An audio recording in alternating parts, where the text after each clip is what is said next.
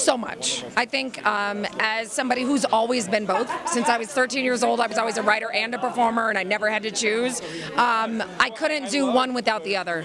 I think the way to uh, creating authentic characters is always through the written word, and you can't bring anything to life as a performer if it doesn't start on the page. So, and I say that even as an improviser, you know, who went through Second City. Um, I think improvisation is just writing really fast.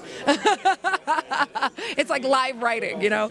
Um, so it all starts with the word, and and it has made me such a better performer because when I am improvising, especially in characters or whatever, in this movie I did a lot of improv, um, and uh, it's only because I know what the story is, and I'm able to follow that, and I'm able to create new facets of characters based on what the words have already given me.